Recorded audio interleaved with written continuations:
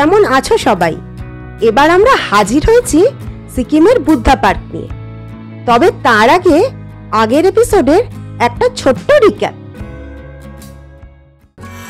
তো আমাদের হোটেলের পাশেই এই যে মনেস্ট্রি এই মনেস্ট্রির ভেতরেই রবি ঠাকুরের স্মৃতি বিরচিত একটি জায়গা এই মনেস্ট্রিতে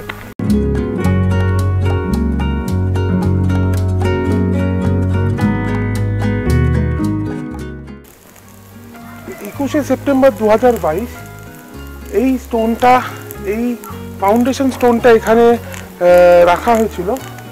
এবং এটা আমাদের কবিগুরু রবীন্দ্রনাথ ঠাকুরের স্মৃতি, স্মৃতিতে এই ফাউন্ডেশন স্টোনটা লে করা হয়েছে। এবং এইখানে তৈরি হবে রবীন্দ্রনাথ ঠাকুরের বত্রিশ ফিটের মূর্তি।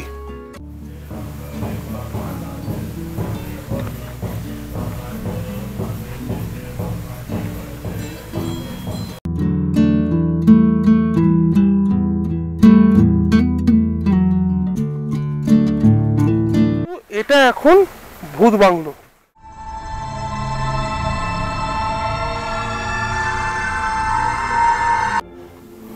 বলা হয় কোনো একটা টাইমে এখানে ব্রিটিশরা থাকতো এবং এখানে থেকেই তারা এখানকার লোকেদের উপর অকথ্য অত্যাচার করত।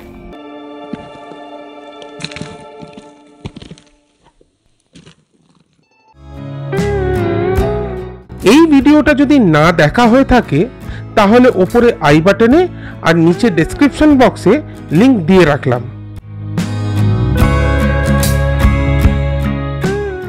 তাহলে আর দেরি কেন? চলো শুরু করি এপিসোড সিক্স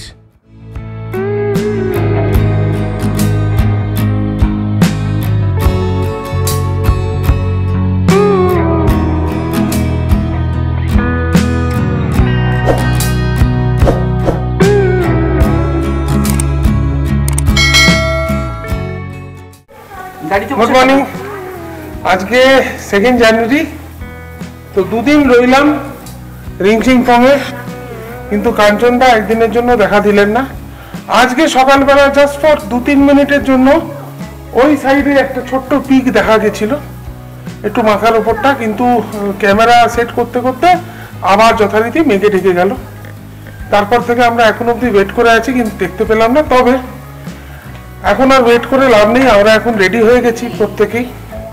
তো আমরা এখন চলেছি আমাদের নেক্সট ডেস্টিনেশনের পথে। আমরা এখন আছি আপাতত ওয়েস্ট সিকিমে রিংচিংপং ওয়েস্ট সিকিমে আর আমরা চলে যাব হচ্ছে এখন ইস্ট সিকিমে মানে আমরা চলে যাব গ্যাংটকের দিকে। তবে গ্যাংটক যাওয়ার আগে আমরা অফকোর্স কিছু সাইট সিইং করব, কিছু ভালো ভালো জায়গা আমরা দেখব, দেখে তারপরে আমরা গ্যাংটক যাব। তো সেই জায়গাগুলো তোমাদের সঙ্গে তোমাদেরকে দেখাবো। তোমাদের সঙ্গে শেয়ার করব সেই জায়গাগুলো। করে তারপরে আমরা চলে যাব গ্যাংটকের দিকে। কিন্তু একটাই দুঃখের বিষয়, না পেলিং না রিংচিং পং কোথাও আমরা দর্শন পেলাম না। এবার আসা হচ্ছে আমাদের গ্যাংটক এবং রাস্তায় যেতে যেতে যে স্পটগুলো হয় সেইখান থেকে যদি আকাশ আমরা ক্লিয়ার পাই, কারণ আপাতত দেখছি রোদ উঠেছে। তো রোদ যদি উঠে, যদি আপাতত ক্লিয়ার হয়, তাহলে হয়তো ওখান থেকে আমরা কাঞ্চনজঙ্ঘা দেখলেও দেখতে পারি। তো let's hope for the best তো চলো আমরা বেরোই আমাদের পরের ডেস্টিনেশনের পথে। চলো। গুড মর্নিং ব্রেকফাস্ট করে আমরা বেরিয়ে পড়লাম রিংচিংপং থেকে। বিগত চার দিন ধরে কাঞ্চনজঙ্ঘাকে দেখার চেষ্টা করলাম। এখনও পর্যন্ত দর্শন পাইনি। মনে খুব দুঃখ। দেখা যাক আলটিমেটলি কি হয়। আমরা চলেছি আমাদের পরের ডেস্টিনেশনের দিকে। কোথায় যাচ্ছি সেটা আমরা গিয়ে বলব। সেকেন্ড জানুয়ারি ঠিক সকাল দশটা নাগাদ আমরা বেরোলাম রিংচিংপং থেকে গ্যাংটকের পথে। তবে গ্যাংটক পৌঁছানোর আগে আমরা গিয়েছিলাম রাবাংলা বুদ্ধা পার্ক ও নামচি চারধাম। চলো তোমাদেরকেও নিয়ে যাই। রিংচিংপং থেকে রাবাংলা যাওয়ার প্রথম দিকে রাস্তার দৃশ্য দুর্দান্ত হলেও রাস্তার অবস্থা কিন্তু মারাত্মক খারাপ।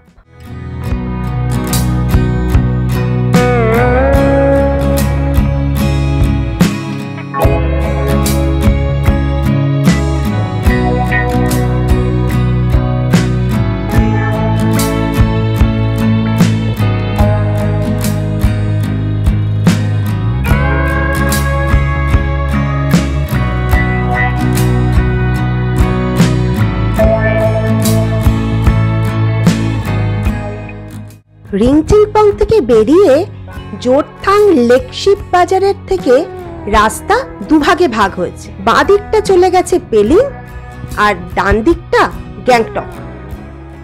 আমরা গ্যাংটকের রাস্তা নিয়ে এগিয়ে চললাম রাবাংলার পথে।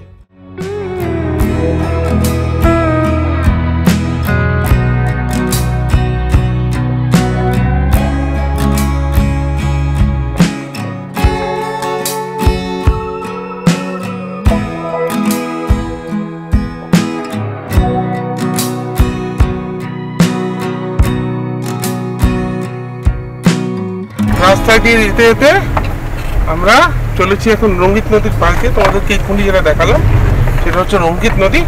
রঙ্গিত নদীর পাশ দিয়ে চলেছি এবং ওখানে যে জায়গাটা গোল চক্কর একটা আমরা পার করলাম যেখান থেকে আহ, বাঁদিক গেলে হচ্ছে তোমার পড়বে বেলিং। আর আমরা ডান দিকে চলেছি আমাদের ডেস্টিনেশনের দিকে। রিংচিংপং থেকে বেরিয়ে একটা বিভৎস রাস্তা পার করে আমরা এসে পৌঁছেছি আমাদের প্রথম destination Buddha park. Buddha park মানে তোমরা বুঝতেই পারছ, আমরা এসেছি রাবাংলা। আসলে গ্যাংটক যাওয়ার পথে আমরা রাবাংলার দুটো মতন জায়গা, রাবাংলা এবং নামচি, এরকম দুটো মতন জায়গা আমরা ভিজিট করে যাব। আমরা রাবাংলা আমাদের থাকার প্ল্যানিং এর মধ্যে ছিল না, আমরা জাস্ট রাবাংলা ভিজিট করে যাব। এই হচ্ছে ব্যাপার। অলরেডি আমাদের পেছনে কিন্তু সবাই ঘুমিয়ে পড়েছে। তিনজনে মিলে ঘুমোচ্ছে পেছনে। হ্যাঁ। আমরা প্রায় বুদ্ধা পার্ক এসে গেছি, রাবাংলা বুদ্ধা পার্ক। তো বুদ্ধা পার্কটা দেখব, তোমাদেরকে দেখাবো, আমিও দেখব। কারণ এই পুরো যে ট্রিপটা আমি করছি, এই যে পেলিং বলো, রিংচিংফং বলো, রাবাংলা বলো, গ্যাংটক, এরপর আমরা যাব, গ্যাংটক বলো, এই প্রত্যেকটা জায়গায় কিন্তু আমার জন্য প্রথমবার ইনফ্যাক্ট আমার পেছনে যারা বসে আছে, তাদের জন্য বোধহয় প্রথমবার রাই বাদে রাই আগে গ্যাংটক এসছে পেলিংও বোধহয় এসছে। বাট আমার জন্য পুরোটাই প্রথমবার, তো আমি চাইছি যতটা পারি কভার করতে, কেননা একবারে তো সিকিম হবে না, বারবার আসতে হবে। আবার আমি আসব, তবে আপাতত আমরা চলেছি বুদ্ধা পার্ক। চলো।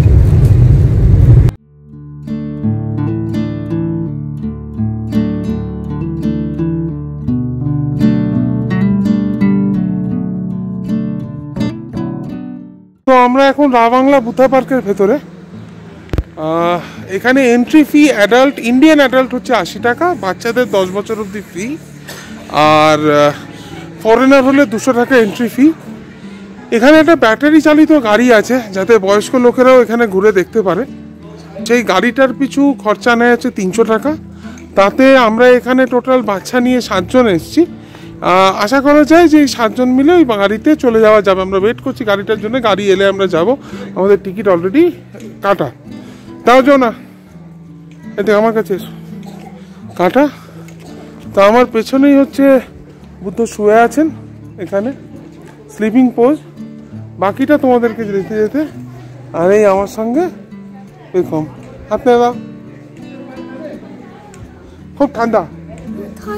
খুব ঠান্ডা, এখানে কিন্তু ঠান্ডাটা একটু বেশি মনে হচ্ছে।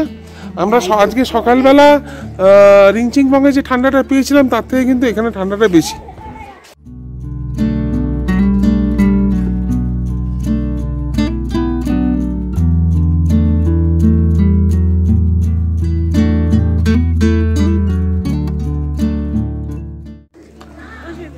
এখানে বেশ কিছু দোকান আছে, যেখানে জিনিসপত্র কেনা যায়।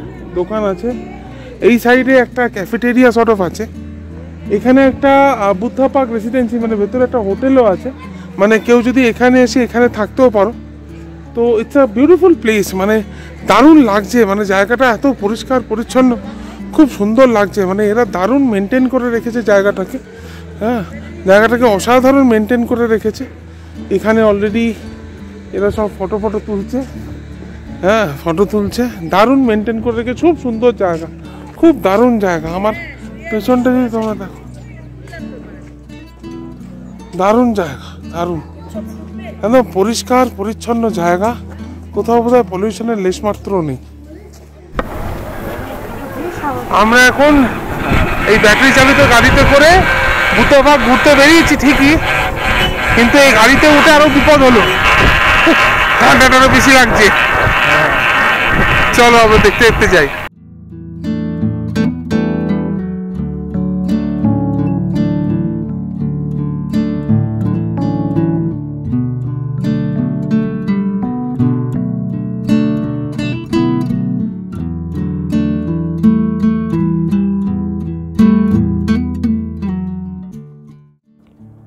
বুদ্ধা পার্ক বা তথাগত সাল দু থেকে দু তেরোর মধ্যে গড়ে ওঠা সিকিম রাবাংলাতে পাহাড়ের উপর একটি দারুণ সুন্দর স্পট। এই পার্কে ষাট টন কপার বা তামা দিয়ে তৈরি করা হয় একশো তিরিশ ফিট উঁচু বুদ্ধ মূর্তি। গৌতম বুদ্ধের পঁচিশশো পঞ্চাশতম জন্মদিবস উপলক্ষে। পঁচিশে মার্চ দু হাজার তেরো সালে চতুর্দশ দালাই লামা স্বয়ং এই মূর্তি উন্মোচন করেন। এই মূর্তির পিছন দিকে পাওয়া যায় মাউন্ট নার্সিং আর মূর্তির ডান দিকে দেখা যায় কাঞ্চনজঙ্ঘা। যদিও কাঞ্চনজঙ্ঘা দেখার সৌভাগ্য আমাদের সেদিন হয়নি।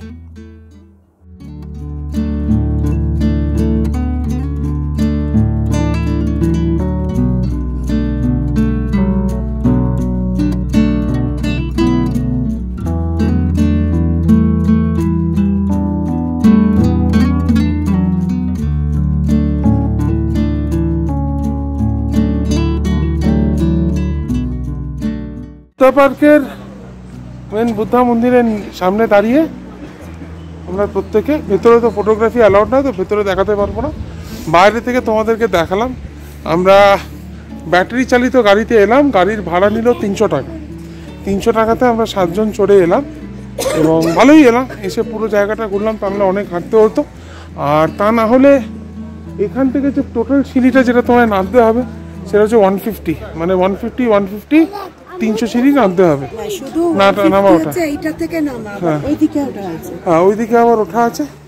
তো আমরা আপাতত এখান দিয়ে ঘুরছি দারুণ ভিউ চারিদিকে অসাধারণ ভিউ আমাদের সামনে এগুলো হচ্ছে ফিশিং ট্যাঙ্ক যেখানে তুমি তোমার উইশ করে একটা কয়েন ফেলতে পারো। কয়েন ফেলতে পারো। তো চারিদিকের ভিউটা দুর্দান্ত। চলো ওইখানে একটা একটা ভিউ আছে একটা থ্রি সিক্সটি ভিউ পাওয়া যায়।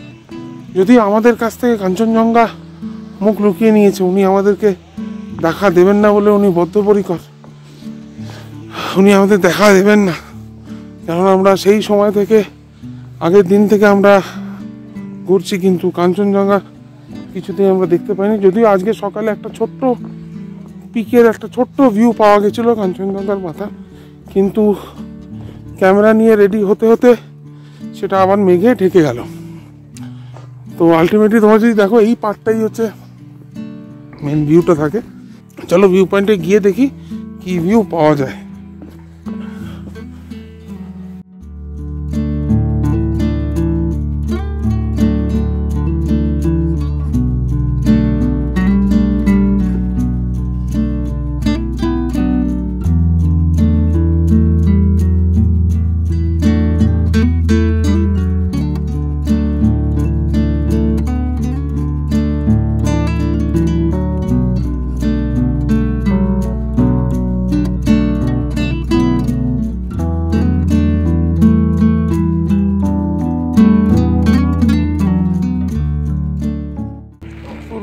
পেছন থেকে যদি দিন ক্লিয়ার থাকতো, আমরা এই পেছন দিকে কাঞ্চনজঙ্ঘা দেখতে পারতাম। কিন্তু পুরোটাই মেঘে ভর্তি বাট এখান থেকে ভিউটা দারুণ।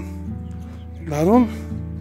আর ওই আমার পেছনে বুদ্ধা মূর্তি চলো, তাহলে আমরা আপাতত আস্তে আস্তে এগোই। এগিয়ে আমরা যাই। আরও এগোই আরও একটা স্পট এখানে দেখানোর আছে তোমাদেরকে। সেটাকে দেখাবো। দেখিয়ে দেন আমরা আমাদের মানে ফাইনাল ডেস্টিনেশন অফ সিকিম বলতে পারো গ্যাংটকের দিকে রওনা দেবো। চলো।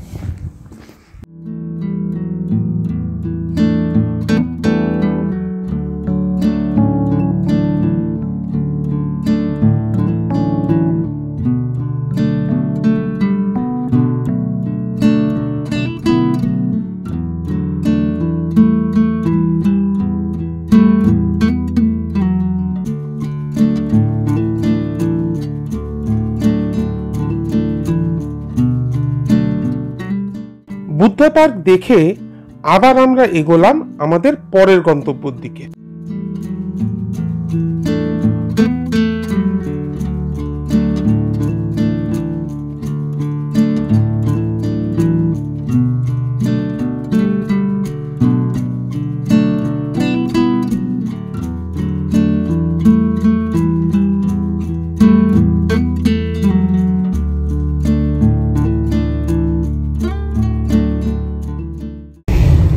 আমরা রা বাংলার বুদ্ধা পার্কটা দেখে নিলাম, তোমাদেরকেও দেখালাম।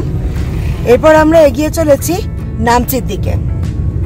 চলো, গিয়ে কথা বলব।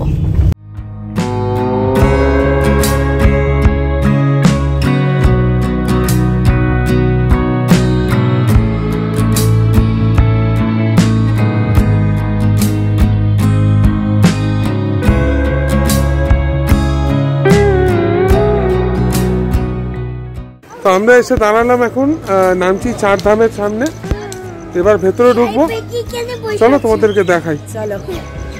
নামছি চার ধাম আমরা তোমাদের দেখাবো কিন্তু পরের এপিসোডে না হলে কিন্তু অযথা এই এপিসোডটা বড় হয়ে যাবে।